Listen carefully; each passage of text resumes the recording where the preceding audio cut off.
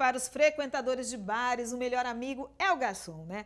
Em dias de casa cheia, eles são super requisitados e precisam dar conta do recado. Em Rio Preto, uma competição muito animada escolheu o garçom mais talentoso quando o assunto é carregar garrafas e latas, copos, tudo sem derrubar.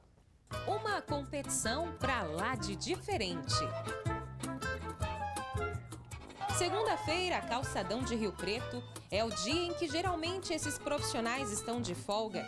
Mas hoje, garçons de Rio Preto e região vestiram um uniforme para celebrar o dia da categoria em um duelo épico. Muito difícil sair demais. Eu não dou nem um passo aí, eu derrubo tudo. Tudo começa com um aquecimento, importante para conhecer o trajeto e garantir o bom desempenho durante a prova. Antônio participa pela primeira vez e tem expectativa de ganhar. Vamos tentar e vamos conseguir ver o que a gente pode fazer. Vamos ficar em primeiro, em segundo e em terceiro. Para mim, a participação está boa de tamanho.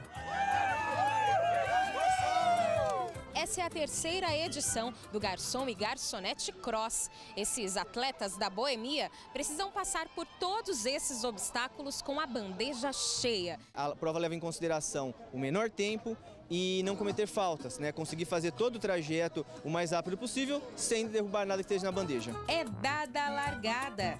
Alguns conseguem finalizar o trajeto, outros ficam pelo meio do caminho.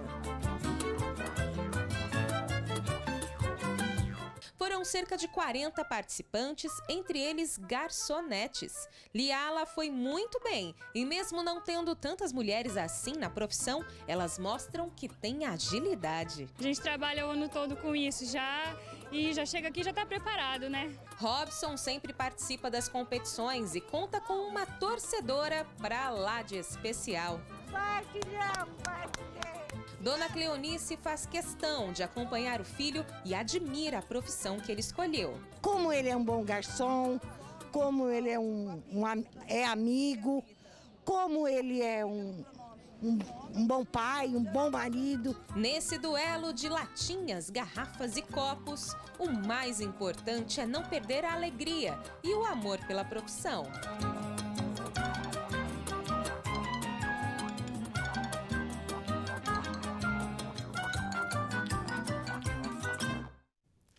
E olha, os grandes vencedores foram a Renata, no feminino, que apareceu aí na nossa reportagem, e no masculino foi o Jailson Santos. Os dois levaram para casa uma TV de 49 polegadas.